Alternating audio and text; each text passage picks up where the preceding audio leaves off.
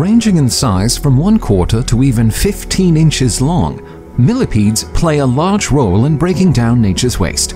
In simple words, they are nature's little recyclers, where they feed on dead plants and animals.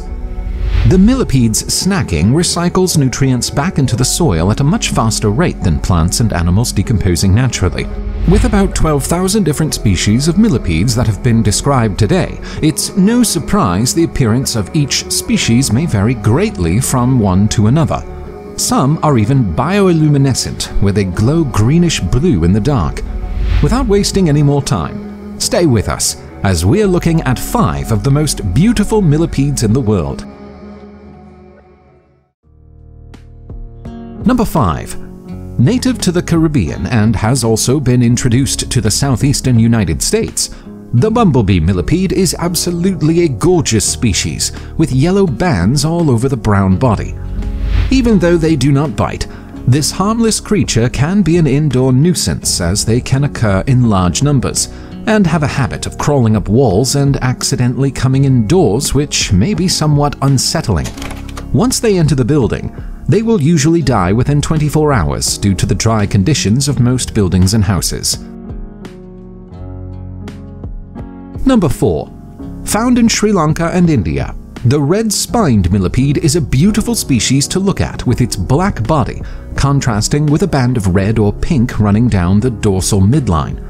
As millipedes, eating decaying leaves and other dead plant matter, this species, however, can become a household pest in large numbers.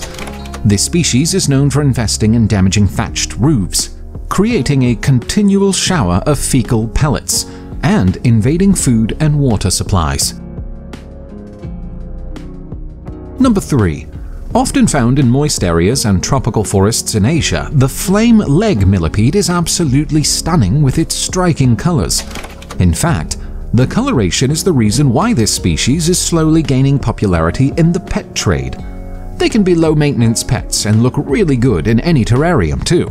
However, one shouldn't be fooled by its good looks, as it is actually a toxic species. Captive bred millipedes are more stable compared to wild caught millipedes because they are already used to the enclosure parameters and diet in captivity. The flame leg millipede might look interesting and harmless, but they are not recommended for kids and first-time millipede keepers. Number 2.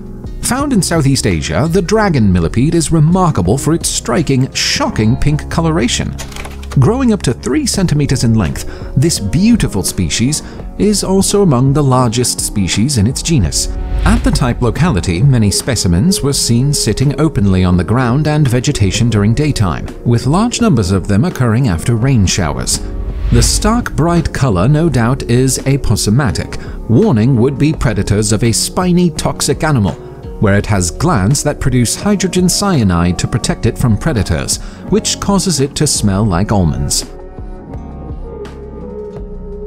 Number 1. Found in Thailand and Vietnam, the rainbow millipede is definitely one of the most attractive species of millipedes that you can come across.